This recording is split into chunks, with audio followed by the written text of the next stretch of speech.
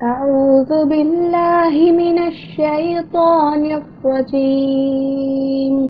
اے شیطان مردود سے میں اللہ کے پناہ مانگتا ہوں۔ لقد كان في يوسف وإخوته آيات للسائلين. حقیقت یہ ہے کہ یوسف اور اس کے بھائیوں کی اس سرگزشت میں پوچھنے والوں کے لیے بہت سی نشانیاں ہیں۔ إذ قالوا ليوسف وأخوه أحب إلى أبينا منا ونحن عصبة. إن أبانا لفي ضلال مبين. جب اس کے بھائیوں نے آپس میں کہا کہ یوسف اور اس کا بھائی ہمارے باپ کو ہم سے زیادہ محبوب ہیں، حالانکہ ہم ایک پورا جتھا ہیں۔ یقیناً ہمارا باپ ایک کھلی ہوئی غلطی میں مبتلا ہے۔ اقتلوا يوسف أو اطرحوه أرضا يخل لكم وجه أبيكم وتكونوا من بعده وتكونوا من بعده قوما صالحين اس کا علاج یہی ہے کہ یوسف کو قتل کر دو یا اس کو کہیں پھینک دو۔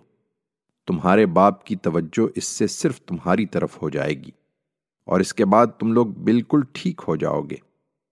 قال قائل منهم لا تقتلوا يوسف وألقوه في غيابة الجب يلتقطه بعض السيارة إن كنتم فاعلين۔ اس پر ان میں سے ایک کہنے والے نے کہا یوسف کو قتل نہ کرو۔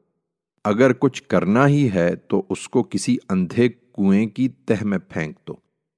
کوئی راہ چلتا قافلہ اسے نکال لے جائے گا۔ قالوا يا أبانا ما لك لا تأمنا على يوسف وإنا له لناصحون۔ اس کے بعد وہ گئے اور انہوں نے اپنے باپ سے کہا ابا جان کیا بات ہے؟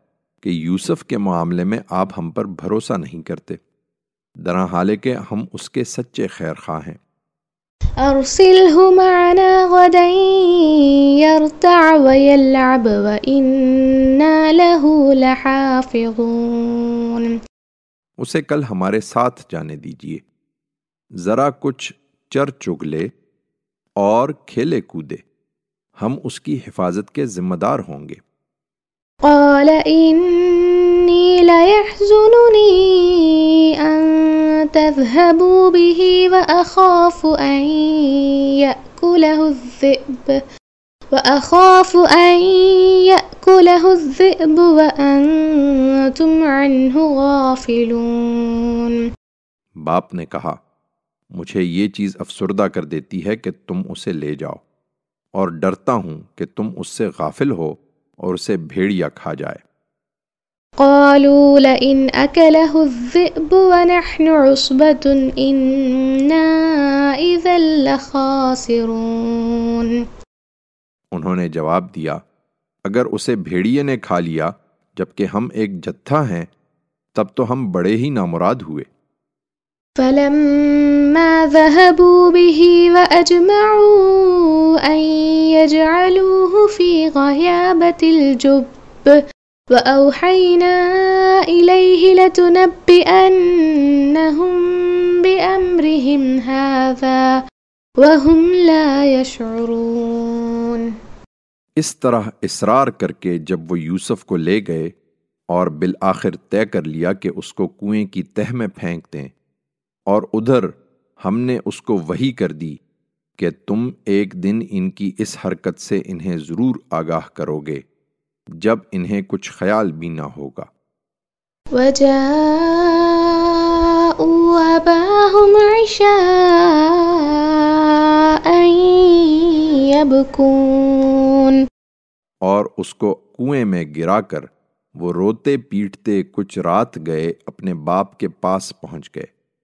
قالوا يا أبانا إنا ذهبنا نستبق وتركنا يوسف وتركنا يوسف عند متاعنا فأكله الذئب.